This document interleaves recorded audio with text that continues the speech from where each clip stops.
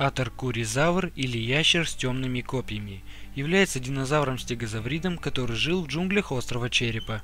Как и все другие обитатели острова Черепа, Атаркуризавр вымер в начале 20 века, когда остров ушел под воду. Последний своего рода. Небольшая популяция выживших потомков стегозавров на острове Черепа цеплялась за существование в папоротниковых долинах в глубине острова.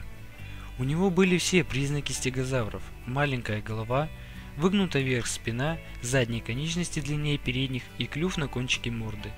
Но также имелись и некоторые особенности вида.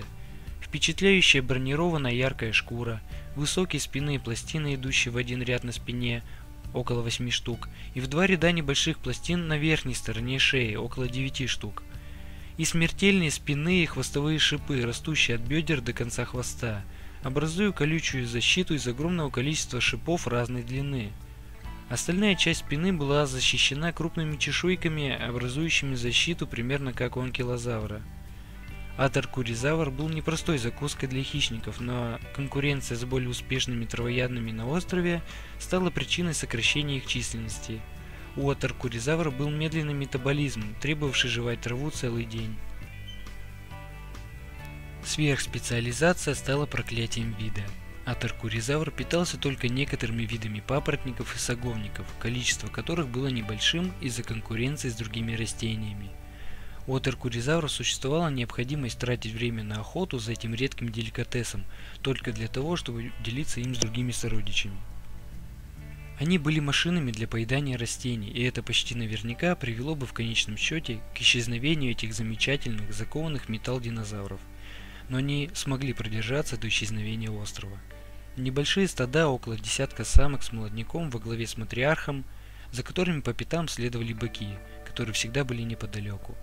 Во время сезона размножения быки по очереди приближались к стаду и устраивая представление в надежде получить одобрение матриарха и ее последователей. Если самец будет принят, ему временно разрешат присоединиться к стаду, получив доступ к коровам в течение нескольких дней – После рождения детенышей все самки стада воспитывают их вместе, тем самым увеличивая шанс на их выживание и выживание всего вида. Атаркуризавр являлся шумным животным. Он умел производить широкий спектр звуков, от визга и потоптывания до глубоких грохотаний желудка. Конкретные звуки имели разные значения. Небольшой ропот ног, издаваемый во время еды, казалось, служил как сигнал «все хорошо» для других членов разрозненного стада, пока те пасутся. Просьба писками молодежи стимулировала родителей отрыгивать проглоченную еду, в то время как аналогичный звук, производимый на низких частотах взрослыми животными, служил для выражения подчинения перед матриархом.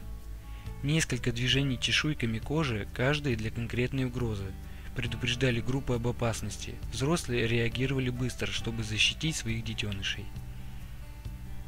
В длину от аркуризавры достигали от 5 до 7 метров. В росте они достигали метр и 75 сантиметров на уровне плеч и 3 метра на уровне бедер.